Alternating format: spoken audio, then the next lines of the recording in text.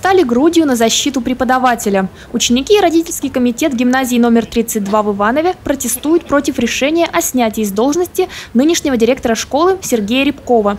Писали в администрацию, писали губернатору. Но причину смены руководства в гимназии им так и не озвучили. В среду утром активисты пришли к воротам школы, чтобы собрать подписи в поддержку преподавателя.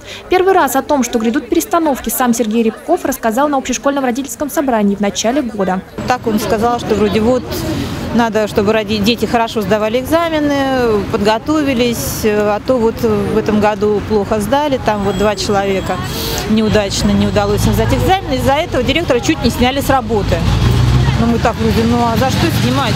Это же родители не решают родительских прав за то, что их дети не сдали экзамены. Родительских прав не лишают, а вот директорского кресла, видимо, запросто. Возмущенные ивановцы решили действовать. Семьи многих из них из поколения в поколение заканчивали 32-ю гимназию, но с таким произволом в отношении руководящего состава, по их словам, сталкиваются впервые. Я тоже училась в этой школе, учился мой отец, мой дедушка, сейчас учится мой ребенок. А, застала я нескольких директоров, самый замечательный, конечно, директор, э, которому висит доска мемориальная у нас э, в фойе, это Петухова Татьяна Борисовна. И, в принципе, сравниться с ней, конечно, только Сергей Сергеевич.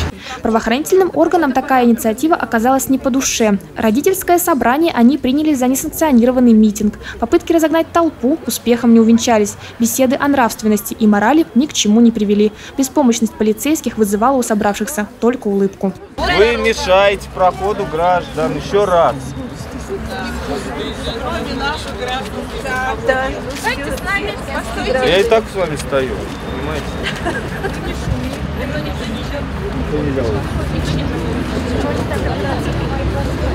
Так нельзя делать. Информации у родителей нет фактически никакой, поэтому остается строить версии. Одна из них это как бы может быть, с кем-то он не поделился э, городским бюджетом, который был выделен на школу, а именно все деньги вложил в реконструкцию многих вещей в школе.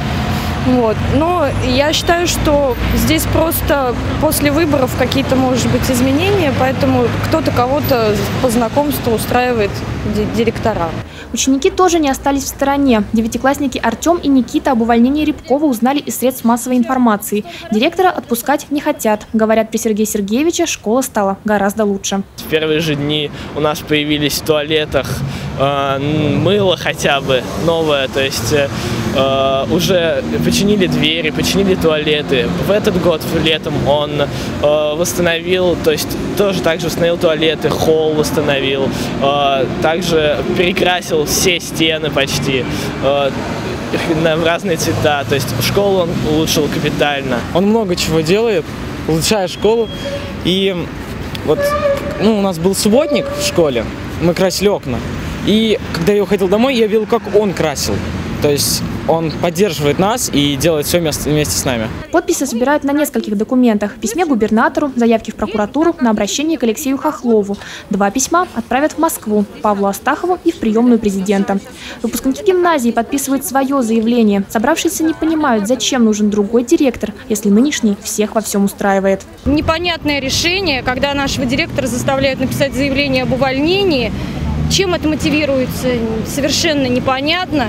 Все это делается уже в начале учебного года и полезного. Одна нервозная обстановка и ну, совершенно никакого конструктивизма. И самое главное, непонятно, чем это все в общем-то, обосновывают. Он пришел на родительские собрания в каждый класс, узнал все нужды.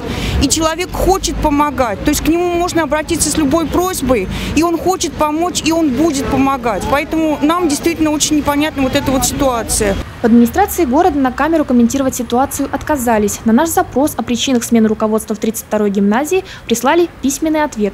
Исходя из документа следует, что снятие с должности Рябкова стало следствием низкого уровня подготовки по математике, непреодоления минимального порога по предмету на ЕГЭ двумя учащимися и завершения ими образования без аттестатов о среднем образовании. Получается, что любая другая школа города, где двое учеников не справились с ЕГЭ, также должна быть подвергнута кадровой перестановке, но под удар попал именно Рябков. Кроме Кроме того, последние два года по наивысшему среднему баллу гимназия, как школа повышенного статуса, не вошла в десятку школ города, как это было в 2013 году.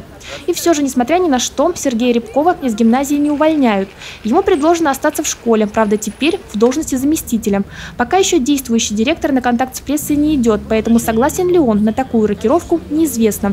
А вот кто сменит его на посту, уже не секрет. По слухам, место займет Марина Князева, на настоящий момент заместитель директора департамента образования. Более якобы есть готовый приказ о назначении чиновницы на эту должность 16 октября 2015 года. Полина Поносицкая, Андрей Семиволков, РТВ Иванова.